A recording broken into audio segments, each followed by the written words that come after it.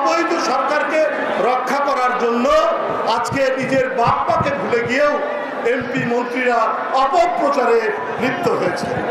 বন্ধুরা ক্ষমতা এমন এক জিনিস, এই ক্ষমতার মোহে মানুষ নিজের বাপ্পাকেও ভুলে যায় ক্ষমতার মায় নিজের বাবা মা কি বলেছে সেই বাবা মার কথাও তারা ঠিক মতো পড়ে না ঠিক মতো জানে না আমরা গত পরশুদিন দেখলাম এদেশের একজন খরচ জন্ম রাষ্ট্রনায়ক মহান স্বাধীনতার ঘোষক এদেশের শ্রেষ্ঠ মুক্তিযোদ্ধা শহীদ রাষ্ট্রপতি জিয়াউর রহমানের নামে মামলা করেছেন কে করেছেন আরেকজন মুক্তিযোদ্ধার মেয়ে তার নাম হচ্ছে কি? নাজিয়া। তিনি এই সরকারের এই সরকারের অবৈধ পার্লামেন্টের এমপি। এবং এই এমপি হওয়ার কারণে এই সরকারের কথায় তিনি মামলা করেছেন কেন কেন করেছেন ক্ষমতার মায়ায় ক্ষমতার মায়া হরিণ এই কারণে অথচ তার মা একটি বই লিখেছে কর্নেল হুদা এবং আমার যুদ্ধ।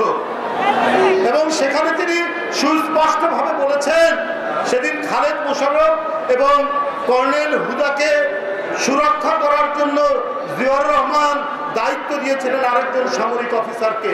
কে বলছেন? যিনি এই মামলা করেছেন, তার মা। নিজের মায়ের বই পড়েন না, নিজের বাবার বই পড়েন না।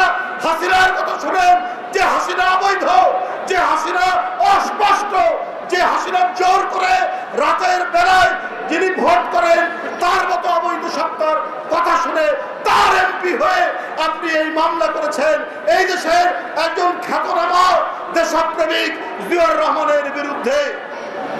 অথচ যিনি যাই ছিলেন, যিনি অপপ্রচার করেছেন, তার ব্যাপারে কিছু বলেননি। বন্ধুরা আমার, এইটাই হচ্ছে এই সরকারের এমপি মন্ত্রী যারা আছেন, তাদের হলো এই বৈশিষ্ট্য। কারণ ওদেরই একজন মন্ত্রী, আপনাদের মনে আছে? এই গত গত পরশুদিন বলেছেন কালকের সংবাদপত্রে এসছে, যারা সিগারেট চেয়ে খেত, যারা চেয়ে চিনতে খেত, তারা এখন ব্যাংকের মালিক, তারা এখন ইন্ডাস্ট্রির মালিক তারা মিল কলকারখানার মালিক কে বলছেন আওয়ামী লীগের শিল্প প্রতিমন্ত্রী বলছেন এটা বিএনপির লোক এইটা বিরোধী দলের লোক আওয়ামী লীগের মন্ত্রী বলছেন, যারা চিনতে খেত, তারা ব্যাংকের মালিক, তারা ইন্ডাস্ট্রির মালিক, তারা কালো টাকার মালিক শেখ হাসিনা। তাদের প্রধানমন্ত্রী শেখ হাসিনা। সুতরাং সেই অবৈধ সরকারকে রক্ষা করার জন্য আজকে নিজের বাপ্পাকে ভুলে গিয়েও এমপি মন্ত্রীরা অপপ্রচারে লিপ্ত হয়েছে। আমি আজকের এই প্রতিবাদ সভায় মুক্তি চাই। অত্যাচার হচ্ছে কারাগারের মধ্যে সাইফুল ইসলাম নীরবের উপর। অত্যাচার হচ্ছে আব্দুল মোনায় মুন্নার উপর। গোলাম মাওলা শাহিনের উপর। অত্যাচার হচ্ছে কমিশনার হারুনুর রশিদ। অত্যাচার হচ্ছে এস এম এস এম জাহাঙ্গীরের উপর লোকমান হোসেন ফকিরের উপর রফিক রফিক হাওলাদারের উপর আশরাফের উপর এই অত্যাচার কারাগারের মধ্যে আরেকটি কারাগার রচনা করে চব্বিশ ঘণ্টা লাগাম করেছে। এই সমস্ত তারুণ্য দীপ্ত নেতাদের বিরুদ্ধে কারণ এই সরকার চায় তার অবৈধ সত্তার বিরুদ্ধে কোন ধরনের জনস্রোত যেন তৈরি না হয়।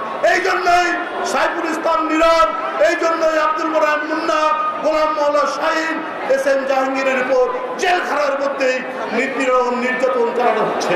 তাদের মুক্তি দিতে হবে, নিঃস্বার্থ মুক্তি দিতে হবে।